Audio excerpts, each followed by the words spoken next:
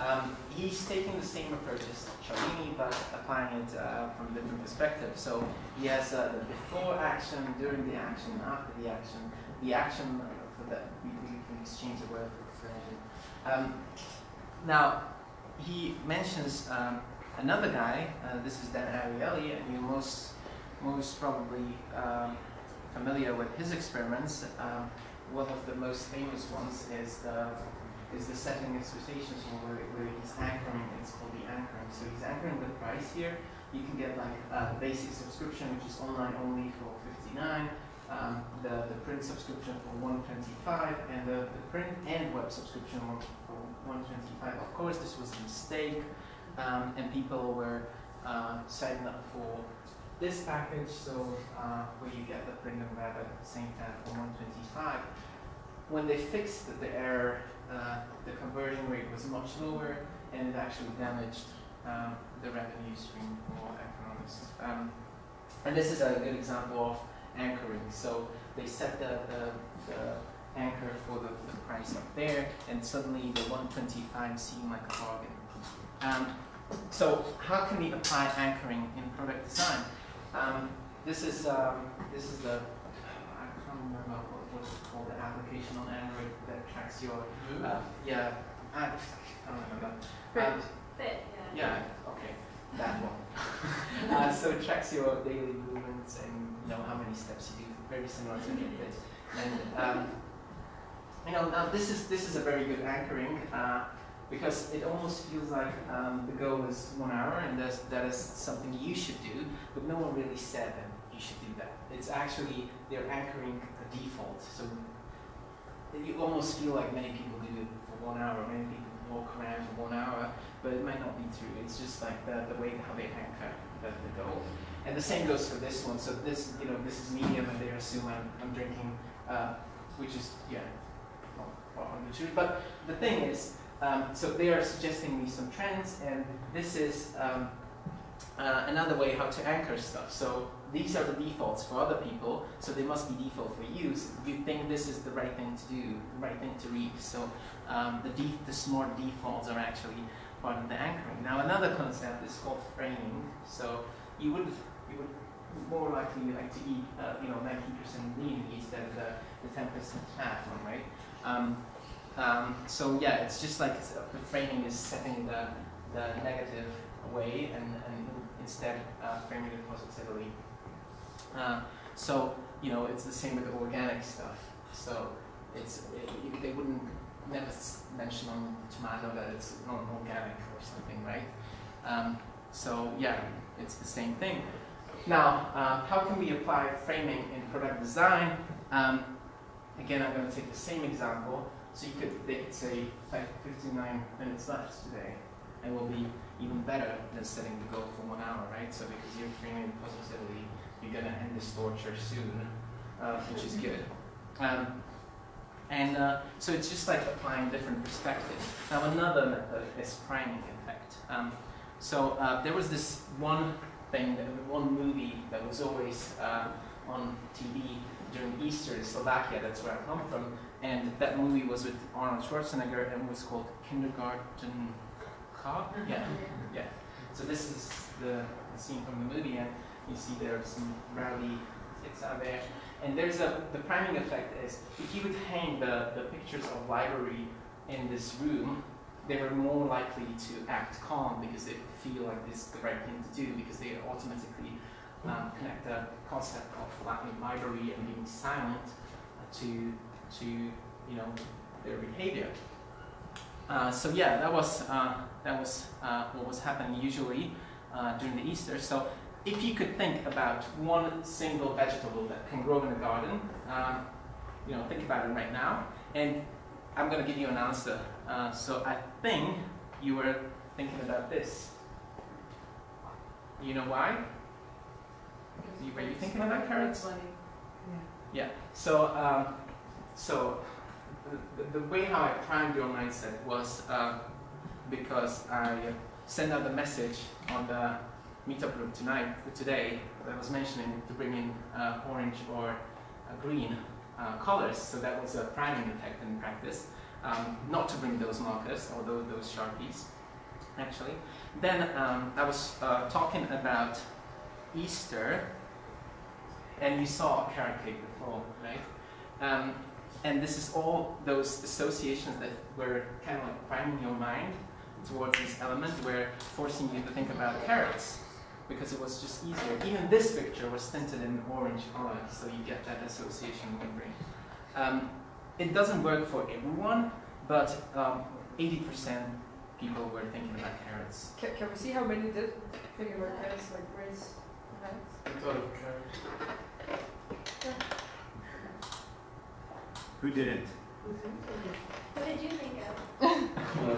of tomatoes. Uh, it was yeah, the, the, the next yeah, the next row was tomatoes. Uh, I made a mistake because I mentioned tomatoes. so it's not perfect, okay? Uh, so another another good example would be I was asking for donations. We've got money in the drawer already.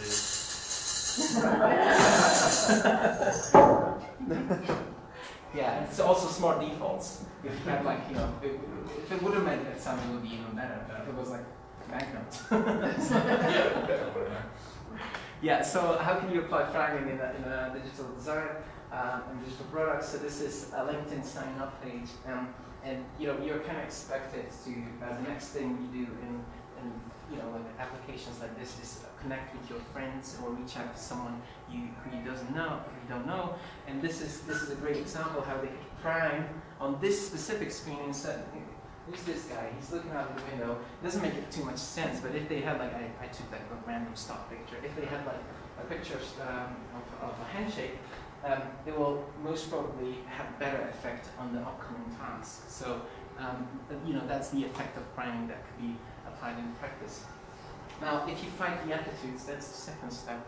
Um, I'm going to uh, tell you a little bit of story here. Uh, so we had a we had a car for the weekend, um, and uh, we decided to go to uh, Steveston. After lunch and a coffee, we got back to a car, but it wasn't there anymore. Uh, so we were completely shocked, and we were helplessly wandering around trying to figure out what to do. Now, a person, and you can imagine like two like random people standing in the middle of the parking, lot, and we were like, what the hell? Like we didn't know what to do. Um, and now a person stopped by and asked us whether we need some help. We asked for a police phone, phone number, telling her that we think our car got stolen or towed away, and we were panicking. Um, so this is not our car, I wish it was. Um, so she not only gave us the number, but called them for us. And um, after finding out the car was stowed away, uh, we asked her shyly whether she was uh, she has a cab number so we can get to that place where they stole the car, where they towed the car. Um, and yes, after a bit of a chatting, she actually offered us to give us a ride to that place, which was like 30 minutes away. So it was a very good deal on her side. Now that effect is called foot in the door, and we were doing it consciously, but it's actually a foot in the door principle. So, so we asked for a small request, uh, followed by a medium request, and eventually uh, ended up in a large request.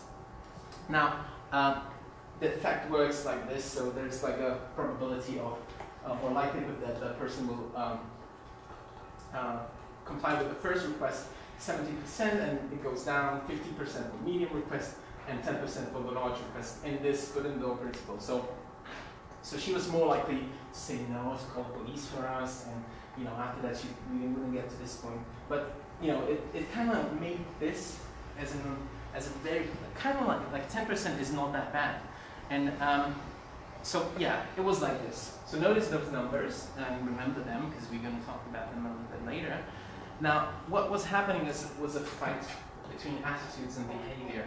Um, and that fight is never, um, even though we, even if we realize that that thing is happening, and and we know that the, the practice works like that, like theming model, you're already accustomed to things like this, so they, they kind of like challenge you and you, you get involved and you you know that this is going to happen, but we're still kind of we still can't resist. We are still being persuaded. So so uh, yeah, this is this is uh, how we are shifting our attitudes. So we justify our behavior later on. So just like just like that person uh, who offered us the ride, she was justifying her behavior. Now these people are are you know, kind of like desperate and they look desperate and I, I wouldn't like to be in their situation. I shouldn't help them. I don't know them. But she was thinking about this stuff all the time. It must have been, you know, kind of like that in her, in her mind. And now the thing is, um, so she was fighting the, the, the attitudes um, and she was justifying her behavior.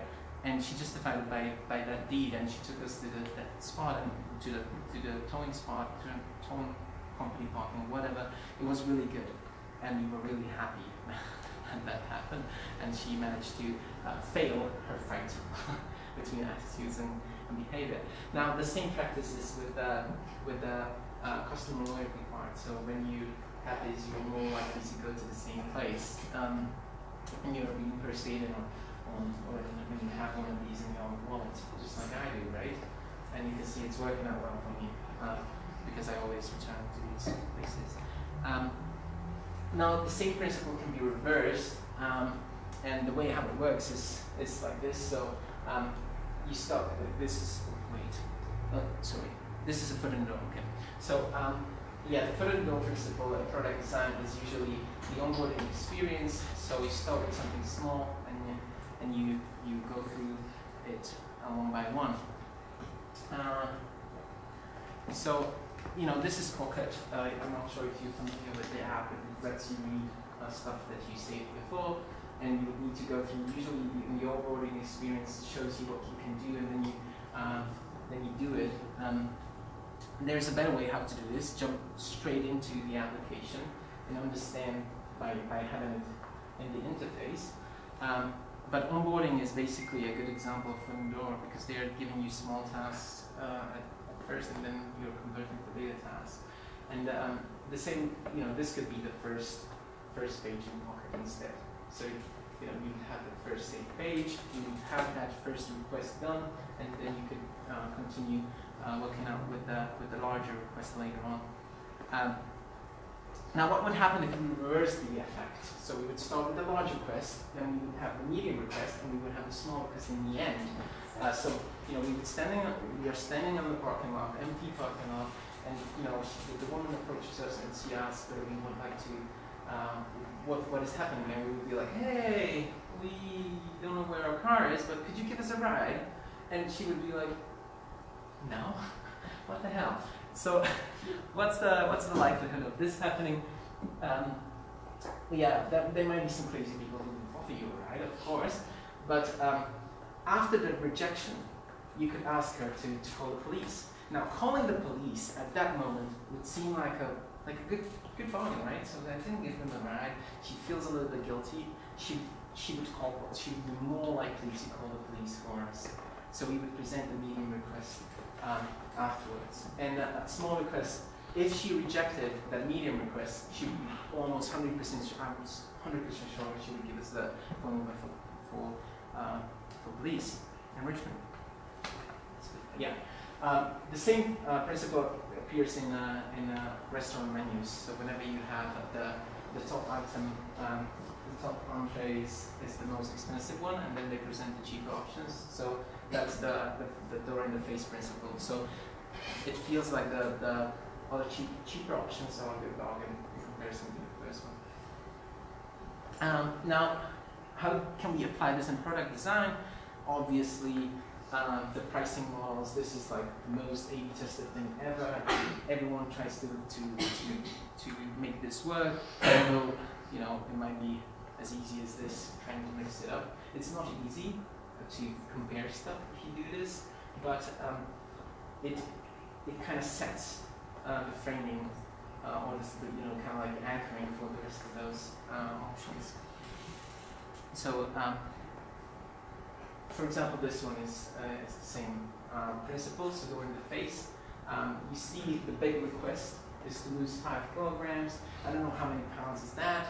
Um, and if you if you walk 20 minutes more a day, um, which is kind of like a small task, right? So it's like a secondary um, task in the in the whole flow. Now it feels like that is something achievable, and you wouldn't, wouldn't need to work hard to to get that. That would be more important actually if I could um, now, you can experiment with this. Um, um, based on the rejection or non rejection, non-rejection on the first request, you could add and reduce time in between and therefore maximize the effect even more. So after they reject the first request, you could wait a couple of minutes, a couple of days and send out an email inviting them back.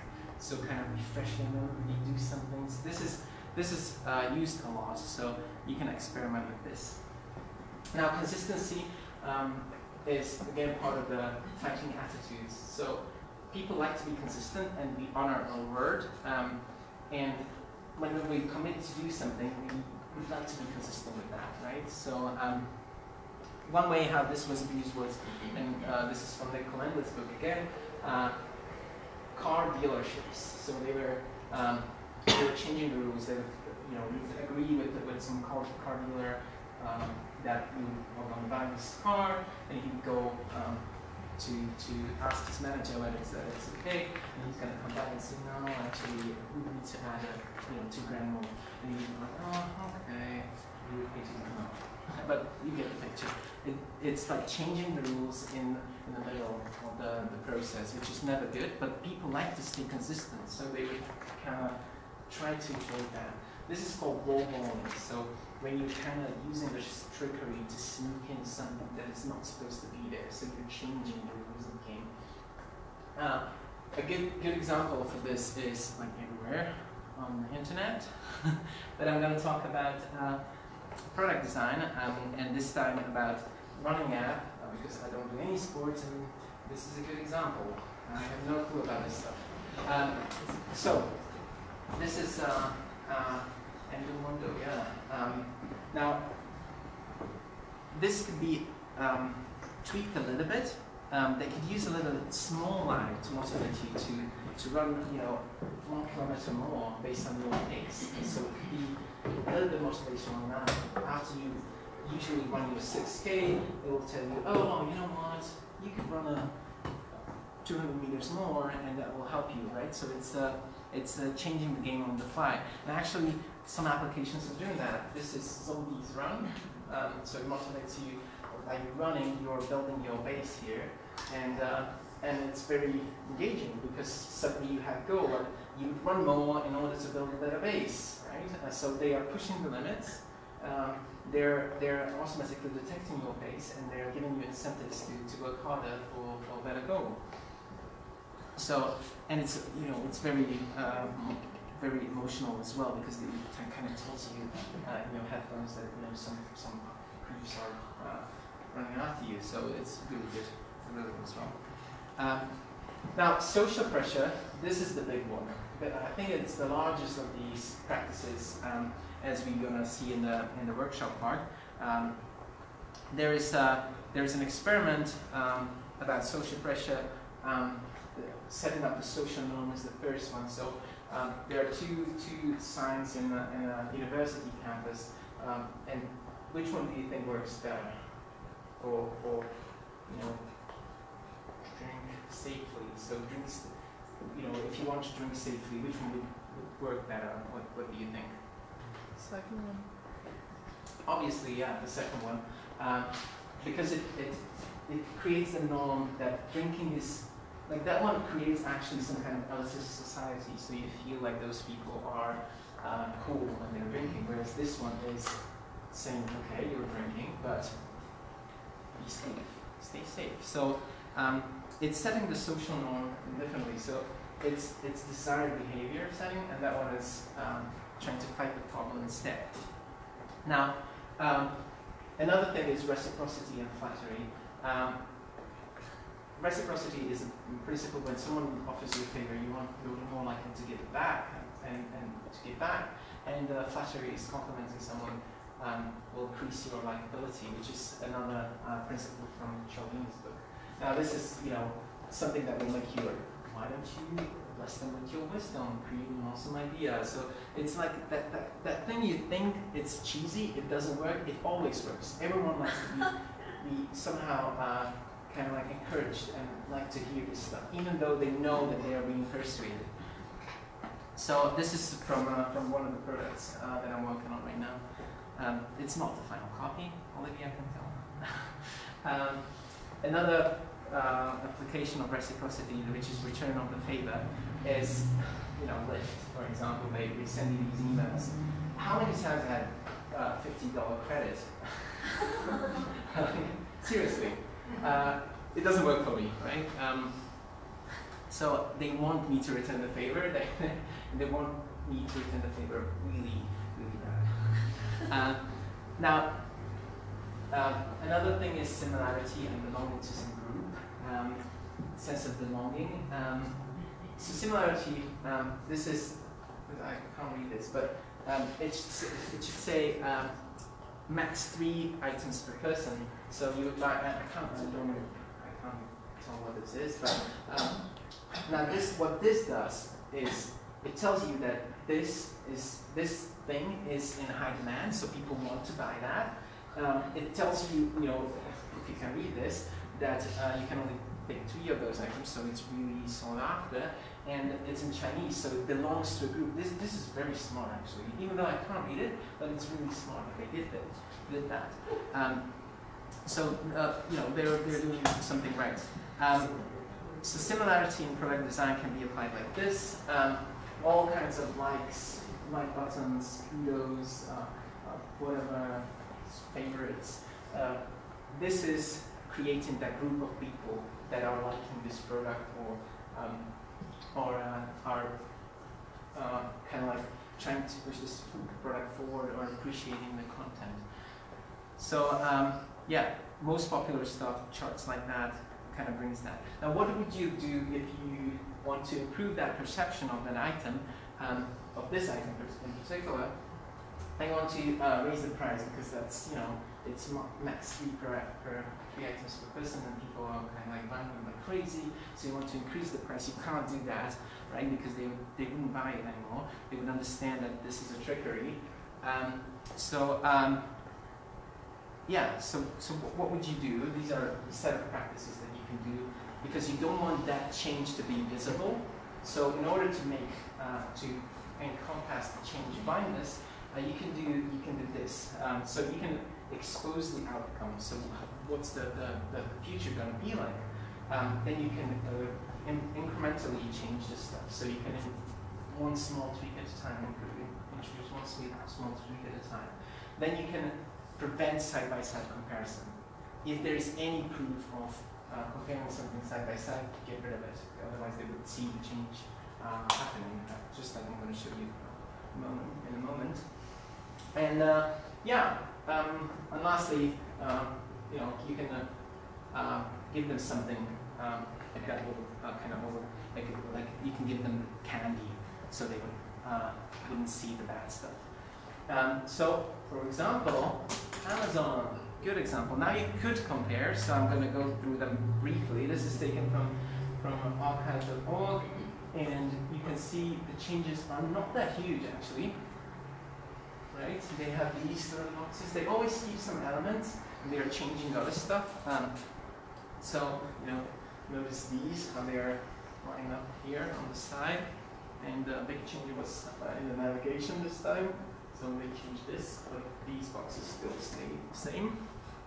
And, uh, and again, changing the navigation. These are the same. And this is the most recent version. They were A-B testing this. Um, and, uh, this is another version here. So you see, they're A-B testing this part here. They added something. So it's, it's really cool.